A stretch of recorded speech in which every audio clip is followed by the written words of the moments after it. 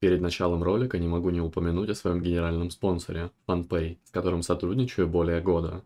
Огромный спектр услуг, низкие цены и богатый ассортимент. Ссылка в описании. Доброго времени суток, дамы и господа. Уверен, в Dragonflight вы стопроцентно испытывали проблему нехватки драконьих камней. Причина такой нехватки проста. Вы налутали кучу вещей, а драконьи камни лимитированы, максимум их можно собирать 2000, и в итоге проблема целью того, чтобы апнуть шмотки, нужны драконьи камни. С целью того, чтобы сделать цельную искру из двух половинок, нужно потратить 250 драконьих камней. С целью того, чтобы улучшить легендарный топор Фералат с 502 этим левела до 535 нужно потратить целых 1900 драконьих камней. Это целый кап. А нам еще нужно остальные вещицы апать. И складывается вопрос, откуда же взять драконьи камни? В этом видосике постараюсь ответить на этот вопрос. Расскажу о многих интересных источниках, некоторые пассивные, некоторые активные, какие-то полуафкшные. Я уверен, многие вам понравятся. Во вторник днем появились различные таблички, в которых было написано, сколько потребуется драконьих камней, к примеру, с целью улучшения феролата.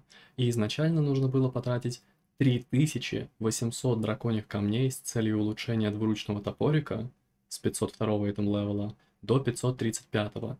3800 драконьих камней, вы только вдумайтесь. Это почти два фулкапа. То есть ты один вливаешь, и еще бы тебе нужно было второй откуда-то выформить и влить. Но компания Blizzard одумалась, и количество требуемых драконьих камней для улучшения вещей, которые куплены с помощью старинных бронзовых слитков, снижено на 50%. Таким образом, всего-то нужно 1900, и все как бы по кайфу. Но во вторник вечером я сидел и выфармливал различные контейнеры, в которых содержатся драконьи камни. И давайте, наверное, обо всем по порядку.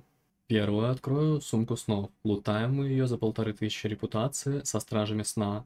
Любыми методами лутаем эту репутацию. Локалки, баджики. Получу 250. Ошибка. 150. Это вполне неплохо, почему бы и нет. Юзнуть какой-то баджик, который у нас имеется, к примеру, на 2500 репутации, чтобы получить 150 драконьих камней. А что, в целом неплохой обмен. Посадку семян можно миксануть с получением репутации, потому что когда мы садим семена, то получаем репутацию при прогрессе 50 и выше.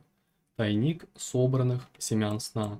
Он имеется у меня, тоже открою его и вылутаю 50 драконьих камней было 625, стало 675. Посадка семян сама по себе тоже приносит немножко драконьих камней. Если мы установим модификацию Plumber, то можем видеть прогресс, а также таймер. Это в целом полезно. Ждем пока вырастет семечко. 15 драконьих камней. Нюхопомрачительные нивские сокровища. Это аналог сумки снов. Мы лутаем за полторы тысячи репутации с ламскими нифами. Открываем. И сколько я лутаю? Целых 200 драконьих камней. Аналогично можно использовать какой-нибудь баджик. На второй неделе четвертого сезона нам дали уникальный еженедельный квест, где мы должны помочь исследователям, которые находятся под огнем.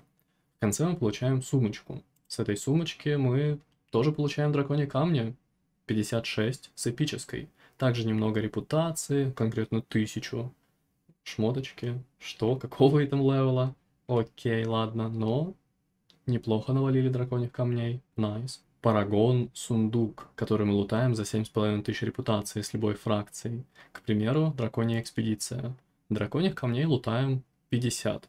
Если вы не долутали какие-то сундуки, или вам осталось чуть-чуть репутации, и вам не хочется идти в какой-либо рейд или мифик плюс, или садить семена, то юзнув баджик какой-либо, сделав локалочку, добиваем репу, лутаем парагон сундук и лутаем 50 драконьих камней. Выполняя небольшие еженедельные активности, мы лутаем сундуки углей, сундуки бурь. Открыв их, мы получим какое-то количество драконьих камней. Да, тут целую сотку, тут тоже целую сотку. Прекрасно. А если открыть тайник пробужденных углей, тот самый, который мы лутаем за Викли Квест, где мы еще лутаем половинку искры, 200 драконьих камней. По факту замечательно.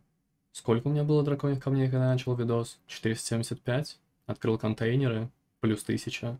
Да, конечно, некоторые контейнеры требуют время, Но если мы не хотим заниматься активными действиями, то это неплохой вариант. На протяжении третьего сезона мы лутали зеленые шарики с PvP, с раскопанной почвы, сумочек.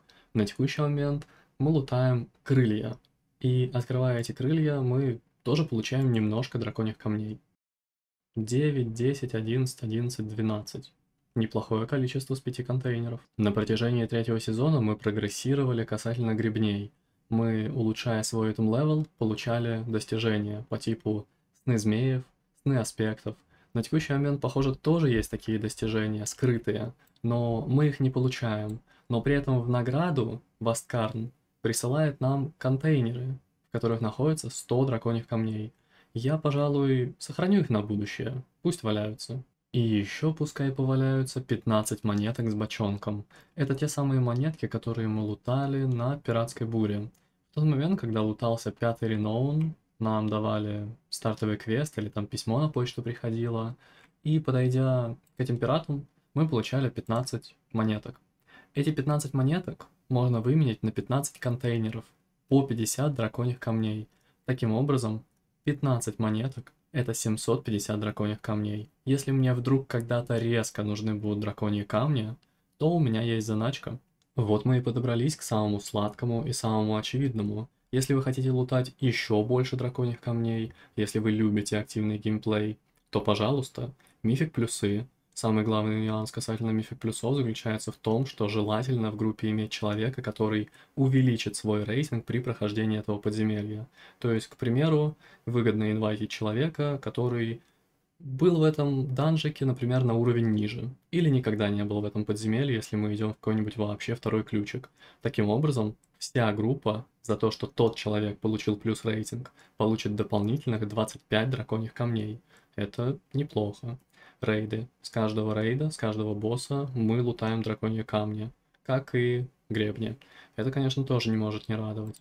Локалочки, релакснуть, отдохнуть тоже можно полетать, поделать, почему бы и нет используя модификацию World Quest List, могу видеть абсолютно все локалочки. И что по драконьим камням? Их нигде нет? Или я просто слепой? Похоже, я просто слепой. А, да, единственная локалка. 21 драконий камень. Но по факту за выполнение любого локального задания мы лутаем около 10.